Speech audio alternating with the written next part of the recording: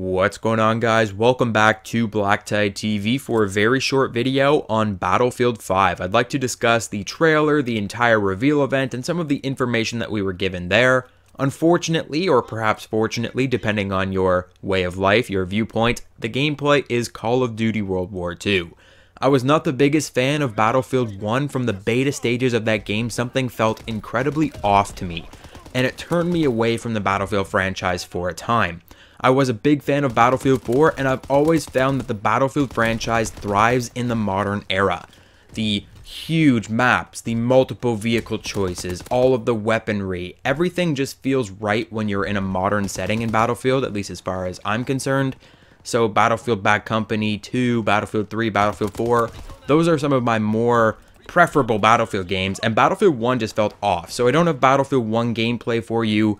I don't have Battlefield 4 gameplay either. It's been quite some time from that game's release, and I'm not even certain if it's in my collection at this point. So, Call of Duty World War II is somewhat related. It is a World War II game, and Battlefield 5 is returning to World War II for the first time in Battlefield's history since their original Battlefield 1942, which came out like 10 plus years ago. So, it's been quite some time since we've had a World War II style battlefield game. They touched on Vietnam, they went to the future, they've done all kinds of different things, cops and robbers in Battlefield Hardline, but they're finally coming back to World War II.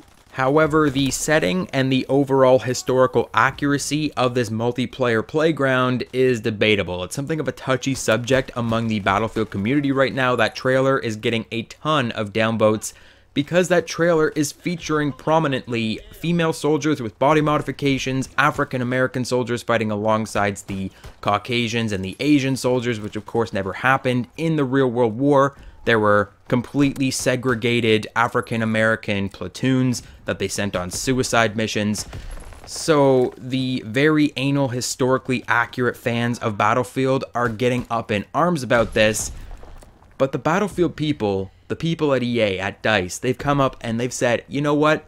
This isn't a historically accurate game. When you're playing multiplayer, it's a believable, but what could have happened type of situation. These are their exact words. So long as the game and setting is somewhat believable, it's an alternate history version of World War II where the multiplayer is concerned. The single player war stories that will be returning are completely different. They are much more strictly enforced as a historically accurate experience, though they will be focusing on sort of stories that you might not have heard from World War II, focusing on platoons and countries that don't get a lot of the limelight when we're talking about that Great War. So much of this SJW PC versus historically accurate controversy aside, I'm cautiously optimistic about Battlefield 5.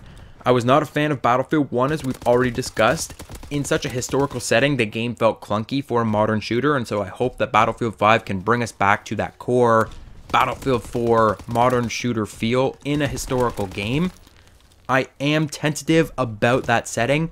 Call of Duty World War II may have soured the World War II setting for a lot of players by releasing a year in advance.